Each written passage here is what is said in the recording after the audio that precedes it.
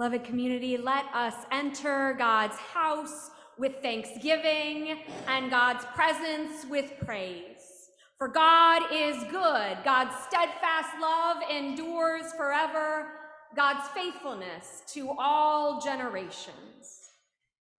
Today, whether you are part of First Church, a joyful and justice seeking church in the heart of our nation's capital, or whether you are a guest or friend joining us from many different locations, we welcome you to worship this morning as we celebrate the Christian year.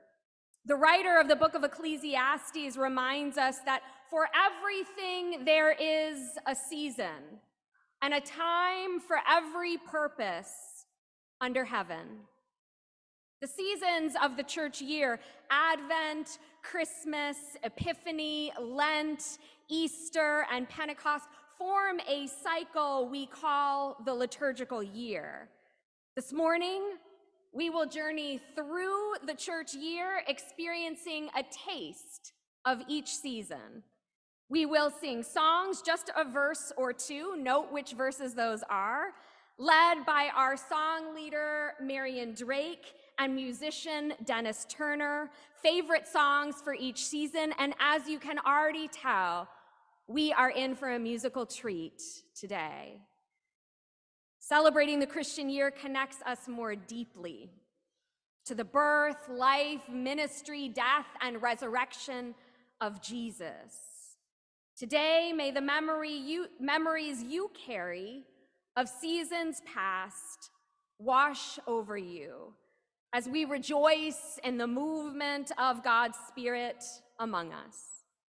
And following worship, all are invited to join us in the narthex for coffee and fellowship.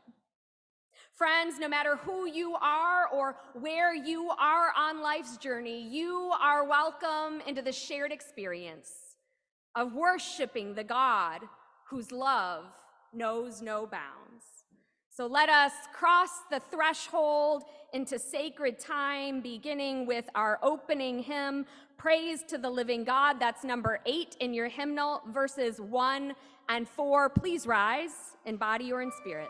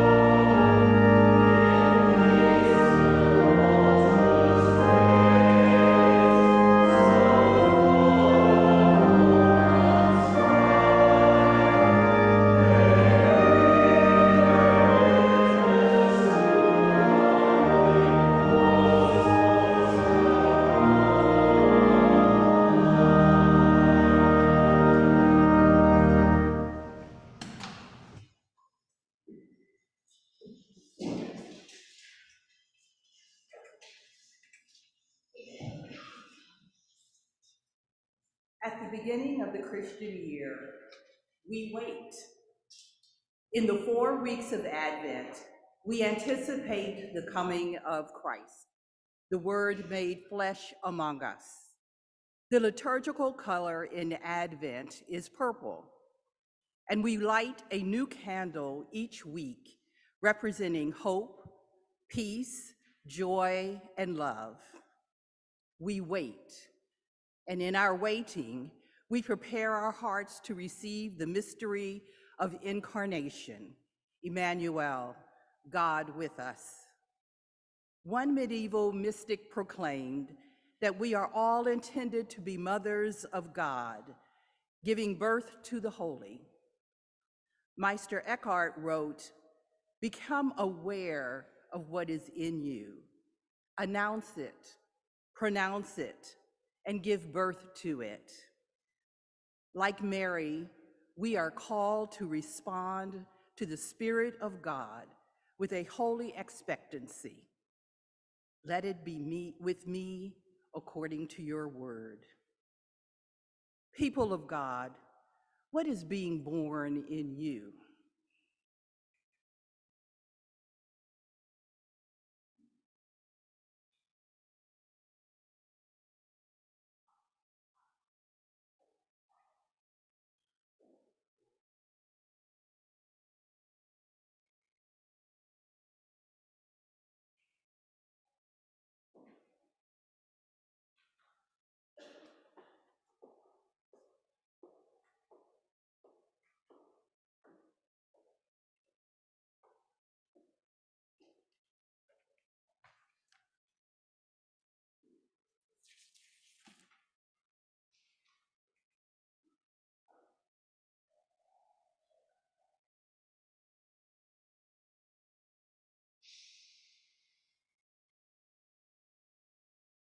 Can you hear it? An expectant silence, a hushed anticipation, as if the very galaxy is holding its breath. There are some truths even the stars know, like darkness, like loneliness. and how the night can be a living thing. And how once, long ago, the night waited in wonder, along with the darkness and the loneliness, for the sound of a baby's cry, for the miraculous to come down to the earth mundane.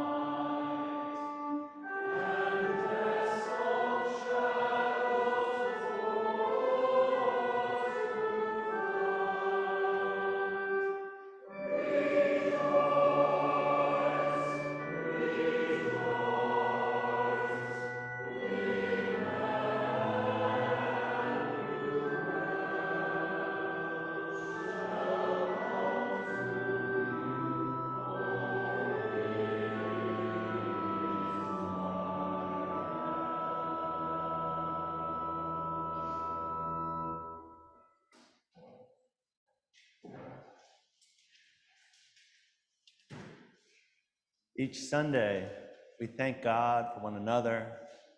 We thank God for God's Spirit, for us to be the beloved community where all are cared for and all are welcome.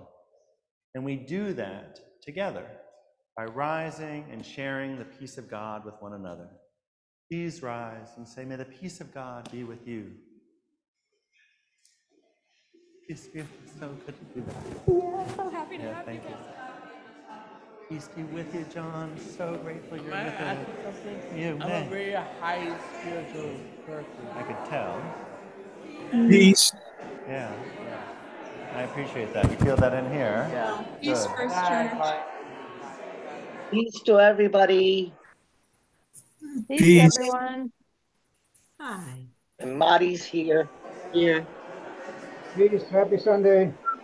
Happy Sunday. Morning, Anne. Anne and Anne. Yes. Hi, Cynthia. Peace. Hi, Cynthia. Good to see you both. Hi. Peace Hi, to everyone. Hi, hi, Hi. Marty's right here. It's just a. Hello, hello. Hi, Hi. Marty. Hi, Marty's here. Marty's here. Hi, Olsons. Marty. Morning, Paul. Hi, Ann. Hi, everybody. everybody else.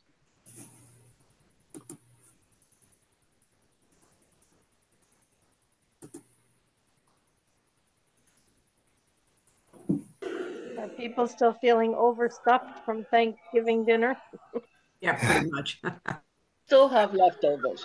Loving the leftovers. Exactly. I think that's the best part. It is. It tastes better. I do too. Yeah, this year we have enough gravy to enjoy with the leftovers. So that, that was great. That was really great. Yay. Mhm. It's essential. We went to my we went to my cousin's, but she very generously cooked us a turkey breast so that we could do leftovers at our house. Nice. Uh, Really nice. yeah. The tree is lit. Candles are burning. The sanctuary is dark and full and warm. Around you, people sing, Silent Night.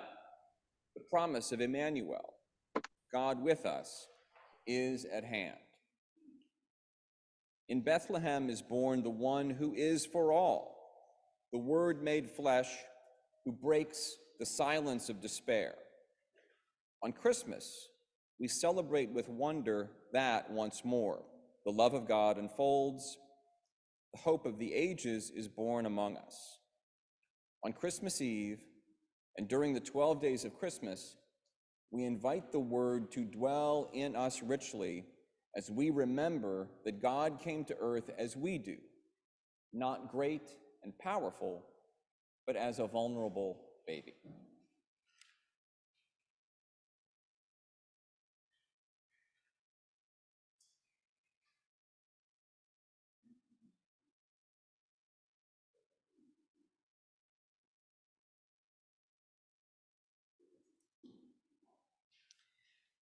While they were in Bethlehem, the time came for Mary to deliver her child.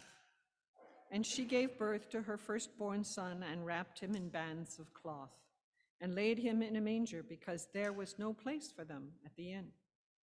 In that region, there were shepherds living in the fields, keeping watch over their flocks by night. And then an angel of the Lord stood before them and said, Glory of the Lord shone around them, and they were terrified. But the angel said, Do not be afraid, for see, I bring you good news of great joy for all the people.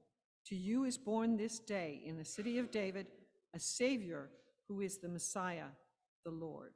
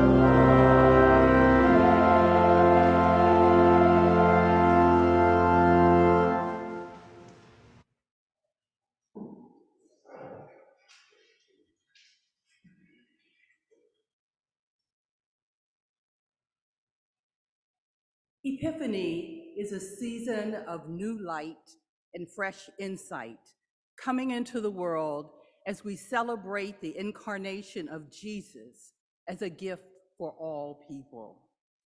We remember the story of the Magi traveling from lands afar to pay homage to the Christ child. We remember the flight of the Holy Family to Egypt under Herod's threat of death.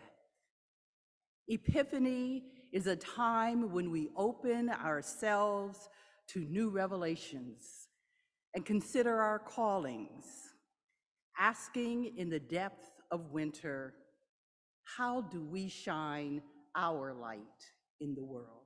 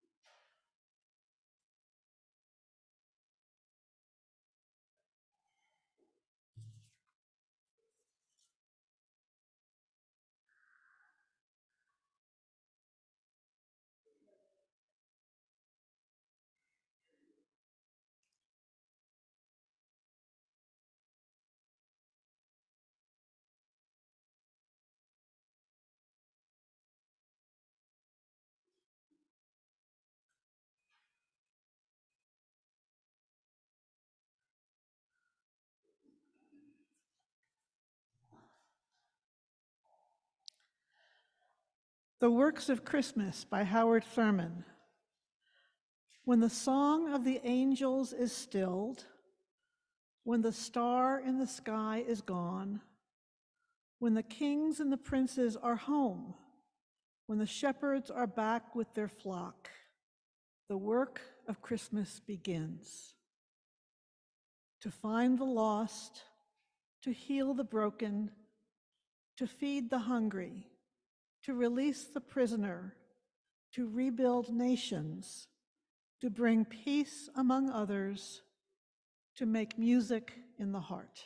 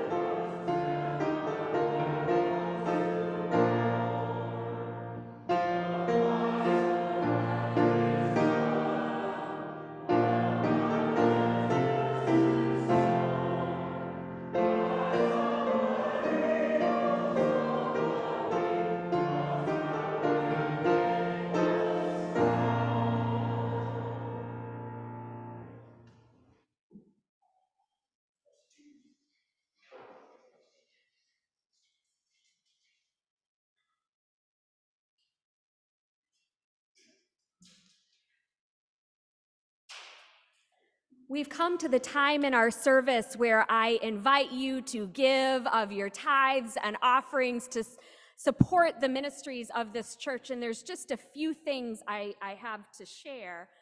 First, this month, we missed the opportunity to introduce our second Sunday special offering. It is going to support a special offering of our denomination, the United Church of Christ. This special offering is called Neighbors in Need.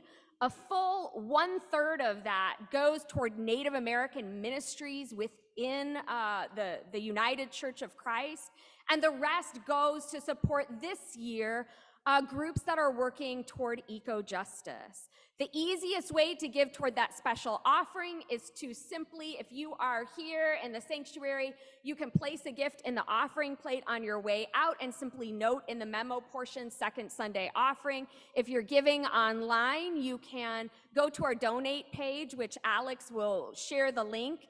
And uh, please use the drop down menu to indicate that is a special second Sunday offering. Um, I also want to lift up, I have to lift up the fact that on Tuesday, through the drop in center, we served over 100 guests. Uh,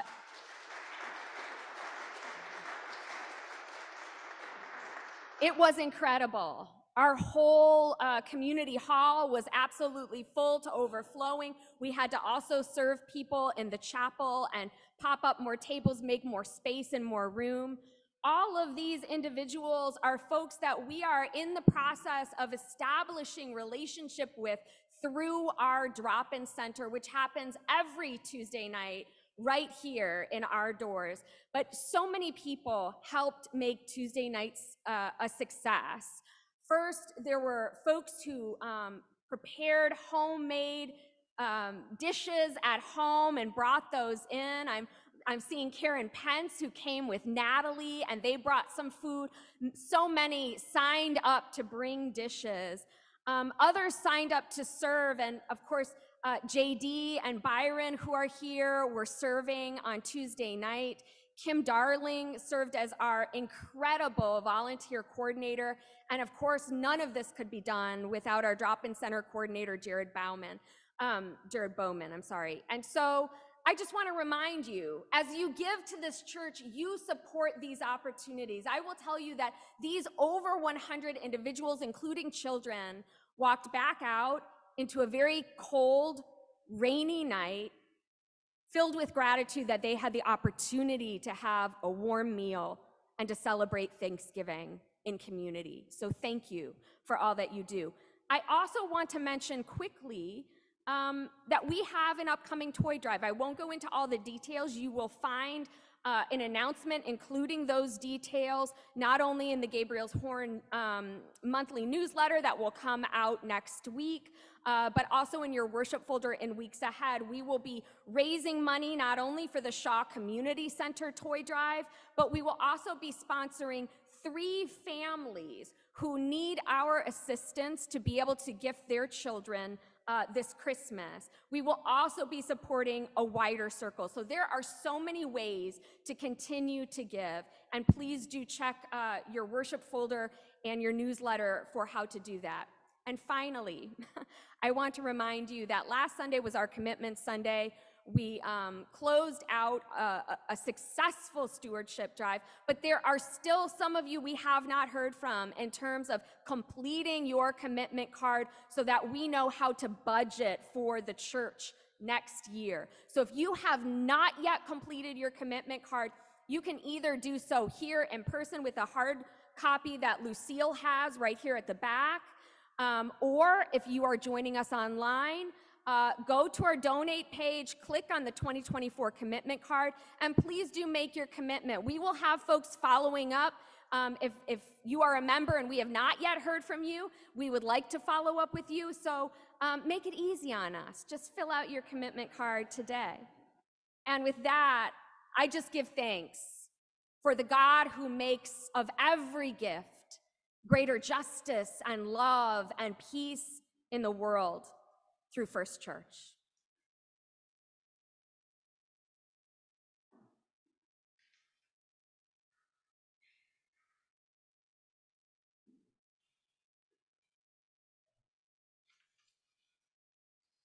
On Ash Wednesday, last year's palms are burned to ash, which we receive on our foreheads in the shape of the cross remembering it is from dust that we come, and to dust we shall return. Thus, the holy season of Lent begins. Lent is a journey through 40 days in which we traverse the inner terrain of the Spirit, preparing our hearts to receive the mystery of resurrection.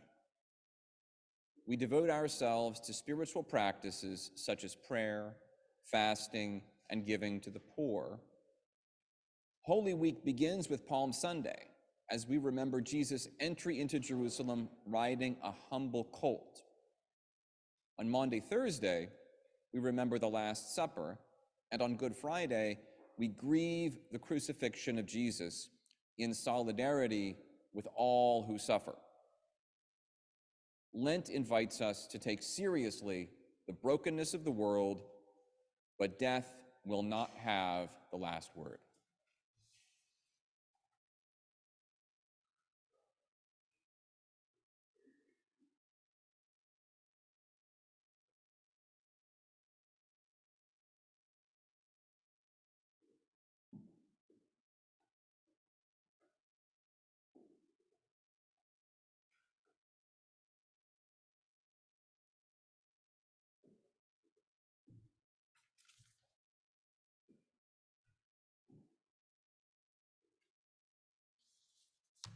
A reading of excerpts from the 14th and 15th chapters of Mark.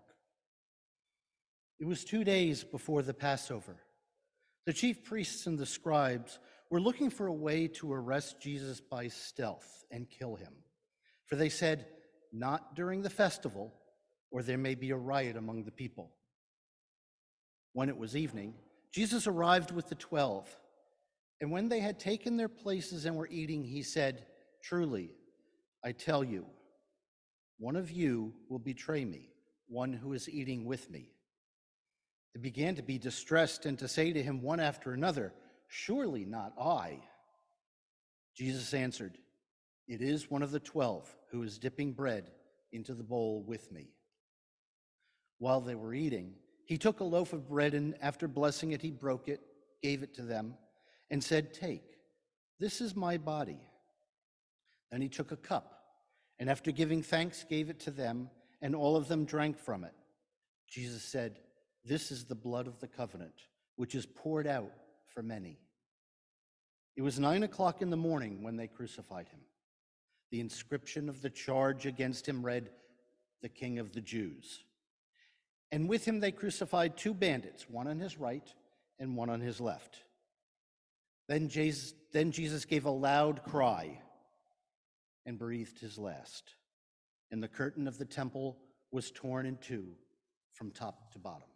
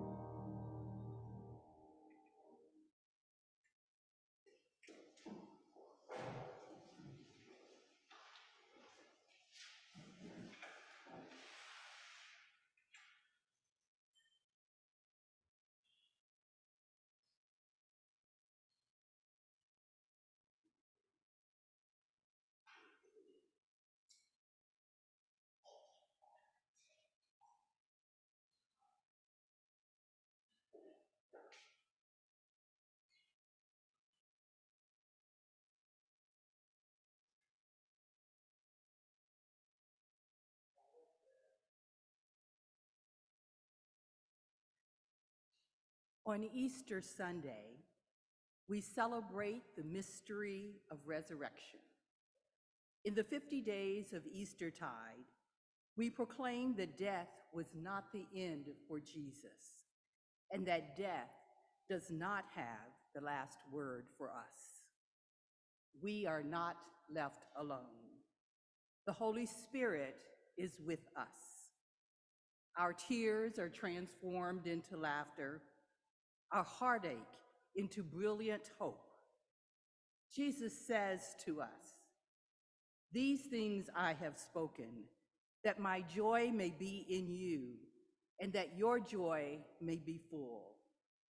With the rising of the sun, the blooming of lilies, the singing of alleluias, we join with all of creation in praising God.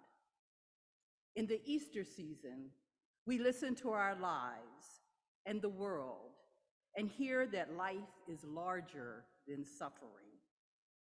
We hear instead the miraculous assurance that the heartbeat of the world is God's joy.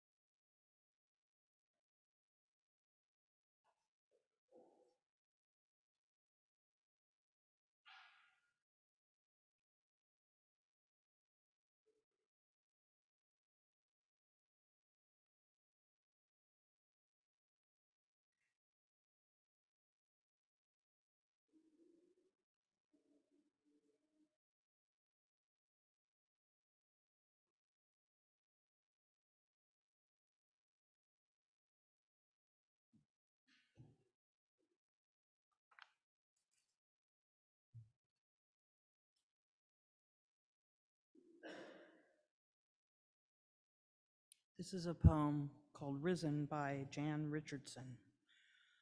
If you are looking for a blessing, do not linger here. Here is only emptiness, a hollow, a husk, where a blessing used to be. This blessing was not content in its confinement. It could not abide its isolation, the unrelenting silence, the pressing stench of death.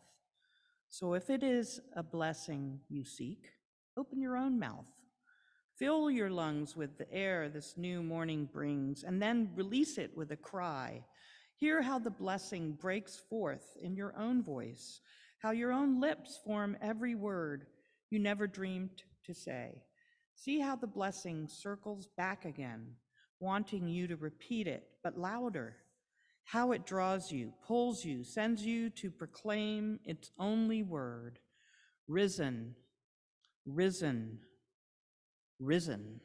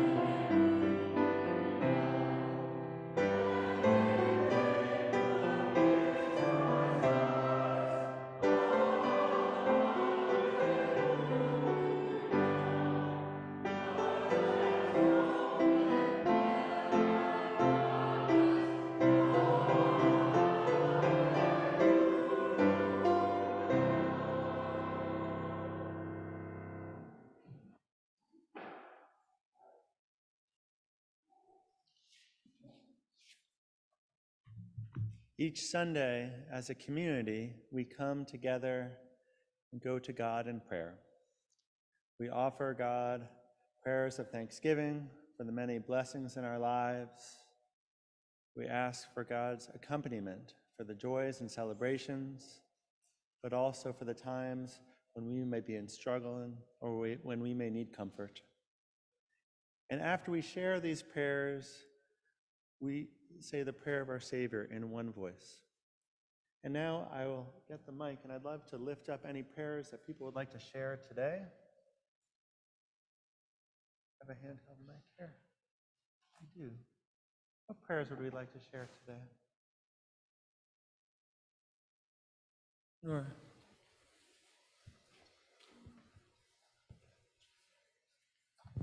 I just want to send prayers to the family of a friend named Carolyn, who I knew since I was a, about 13 or 14, and she passed away, I believe it was last year, from cancer.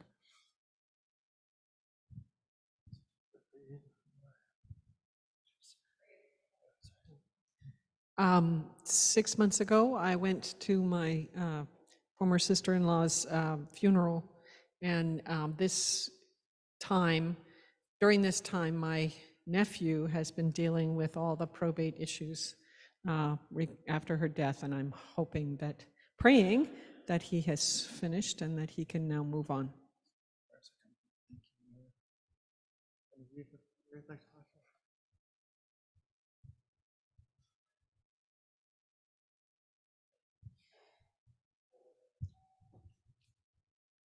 I guess this could be considered a prayer, rather a public comment. Um, God prepared me with a revelation in the word thanks, uh, in thanksgiving. It would be the thanks coming from thanksgiving. Um, I fell in love with freedom, and that is why I came to this church. Um, but the thanks and thanksgiving was actually a proclamation by the President George Washington in congressional resolution that was established the first national Thanksgiving on November 26, 1789. And the reason for that holiday was to give thanks. And the idea of the giving thanks was for the new Constitution that they were signing. Um, the signing of the Constitution took place a year prior, so 1789 was the day that Thanksgiving became a national holiday. And it was to give thanks to the Constitution.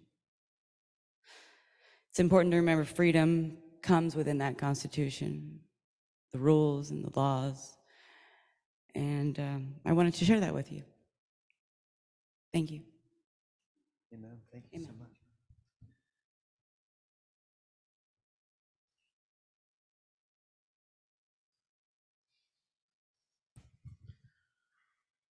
Um, prayers for Israel and Palestine, as we are also moved by the images we see of the release to- of hostages and of the de- detainees.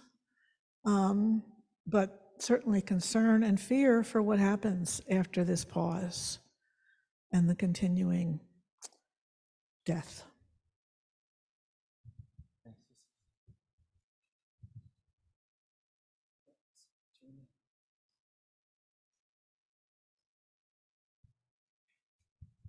Uh, prayers for hailing from my cousin's wife Nancy, who is bedridden and couldn't join us for Thanksgiving, and for her husband, who's the um, the caregiver.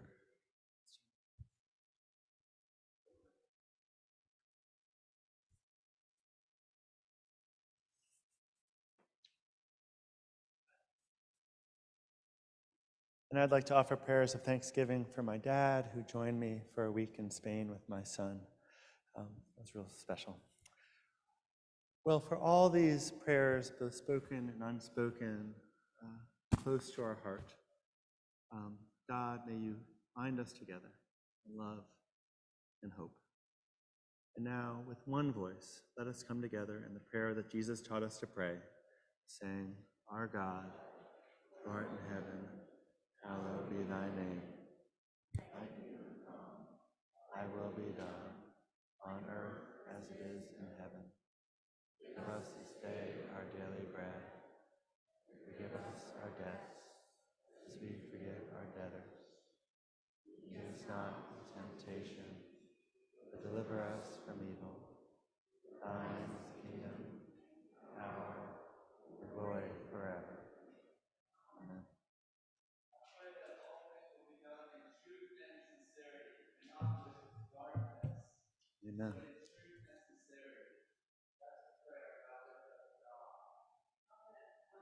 Thank you.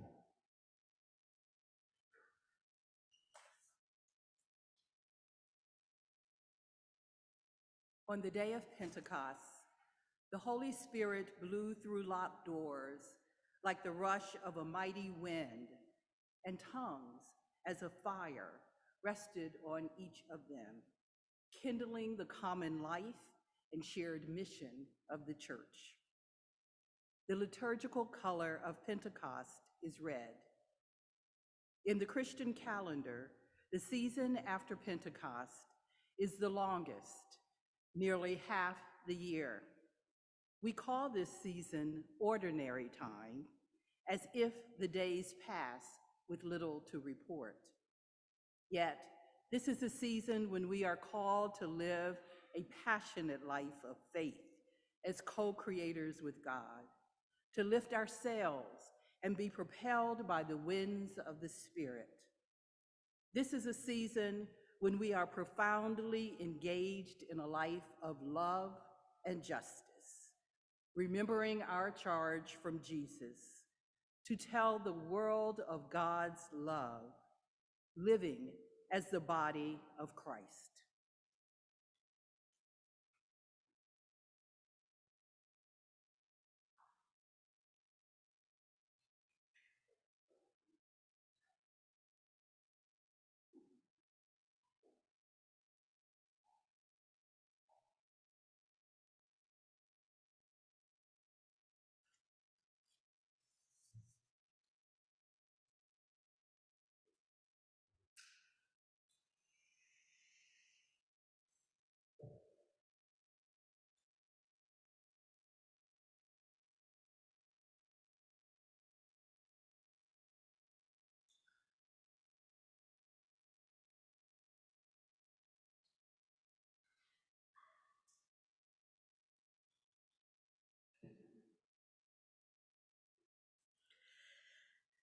Scripture reading, Acts 2, verses 1 through 4.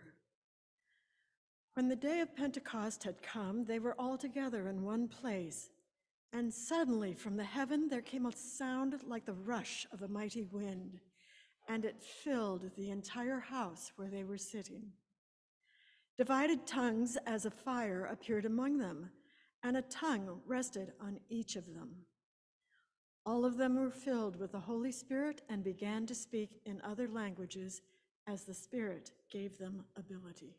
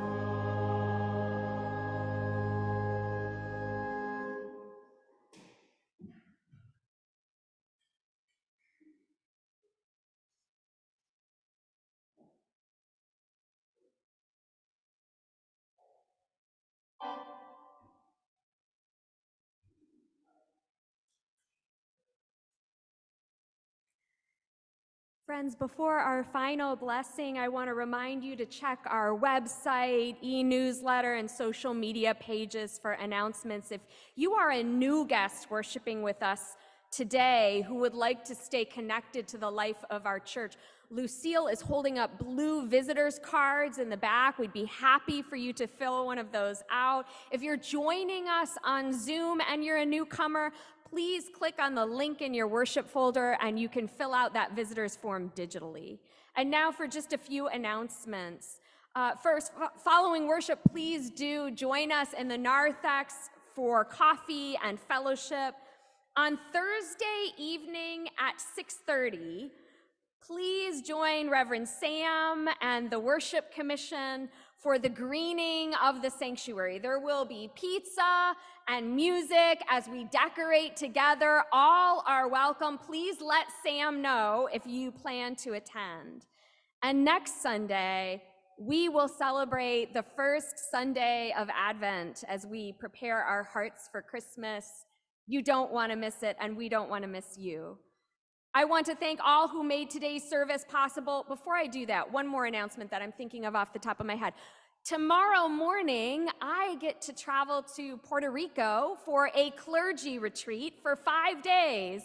I will be back next Sunday. I'm so grateful uh, to have this opportunity to travel. Um, but please know if there's anything you need over the course of the week ahead in terms of pastoral care, uh, please reach out to Reverend Sam. And now, to thank all who made today's service possible. Lydia Peterson on sound, Alex Chang, our Zoom moderator, our wonderful liturgist, Reverend Sidney Avant and Andrew Hamilton, scripture readers, Moira Jones, Jamie Orr, and Polly Gordon, our poetry readers, Sophie Jones, Lucille Dickinson, and Nora Marsh, our usher team of Aaron Williams and Lucille Dickinson, Kamisha Thomas, our Sunday morning coordinator, serving someone even now in the narthex, and Elisa Tanaka Dodge and Matt Dodge, who set up the, uh, all of our supplies for worship this morning, Marian Drake, our beautiful song leader, and Dennis Turner, our musician, as well as our coffee hour hosts, Nick and Nan McConnell. And now for our final blessing. Beloved community, for everything there is a season and a time for every purpose under heaven. In season and out of season, may God bless you and keep you. May God's face shine upon you and give you peace. Go in peace. Amen.